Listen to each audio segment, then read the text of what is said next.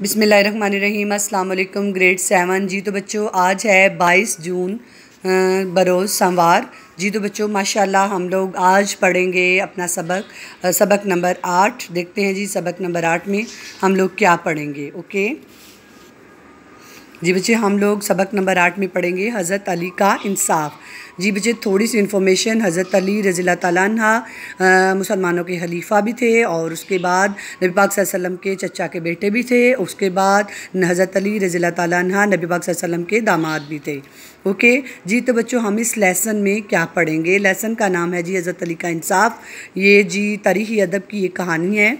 जी बच्चे, देखें, हम इसमें ये पढ़ने की कोशिश करेंगे कि किसी भी मसले को सुलझाने के लिए गौर फ़िक्र करना ज़रूरी है। उसके बाद लालच और लड़ाई झगड़े से बचना चाहिए। उसके बाद इस कहानी में हम उर्दू ग्रामर के असूल कवायद के बारे में पढ़ना शुरू करेंगे। जी तो बच्चे सबसे पहले हम थोड़ी सी कहानी पढ़ लेते हैं। दो मुसाफिर कहीं जा रहे थे, रास्ते में खाने का वक्त हो गया। उन्हें भूख लगी हुई थी। एक मुसाफिर के पास पाँच रोटियाँ थीं और दूसरे मुसाफिर के पास तीन रोटियाँ। अभी उन्होंने खाना शुरू नहीं किया था कि एक और मुसाफिर उधर से गुज़रा। उन्होंने उसे भी खाने पर बुला लिया। अब तीनों ने मिलकर खाना खाया। तीसरा मुसाफिर खाने के बाद जाने लगा तो उसने उन दोनों को आठ धर्म दिए। अब सवाल ये था कि ये आठ धर्म कैसे बांटे जाएँ? जिस मुसाफिर के पास पाँच रोटियाँ थी, उसने कहा, पाँच धर्म मैं ले लूँ। मेरी पाँच रोटियाँ थी और तीन धर्म तुम ले लो, क्योंकि तुम्हारी तीन रोटियाँ हैं। तो जी तो बच्चों, मैं आपको ये समझाने की कोशिश कर रही हूँ कि ये थोड़ा मैथमेटिकल का, इस तरह का कोई मैथ टाइप का भी क्वेश्चन होगा। तो आप इसको गौर से सुनिए मेरी बात को और आप खुद से एनालाइज करिए, खुद से गैस करें कि किस बंदे को क्या मिलना चाहिए। फिर मैं आपको एंड पे बताऊँगी कि क्या सच था। जी बच्चों, ये कहानी ये है। मैं आपको इन शॉर्ट बताना शुरू करती हूँ कि ये दो मुसाफिर थे, उनके पास, एक के पास पाँच रोटियाँ थीं, एक के पास तीन रोटियाँ थीं।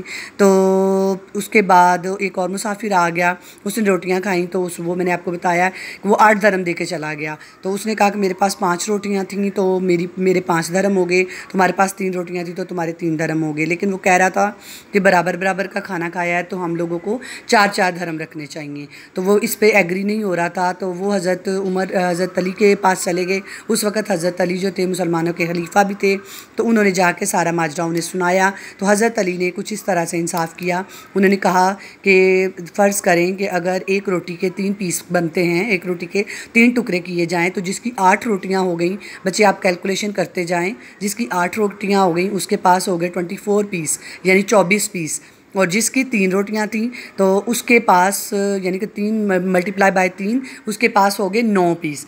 तो बच्चे वो ट्वेंटी फोर और नौ पीस को मिला के जितने पीस बने तो उन्होंने कहा कि अगर हर एक ने आठ आठ पीस खाए हैं तो किसके ज़्यादा पीस खाएँगे? तो उस हिसाब से फिर उन्होंने फ़ैसला किया था।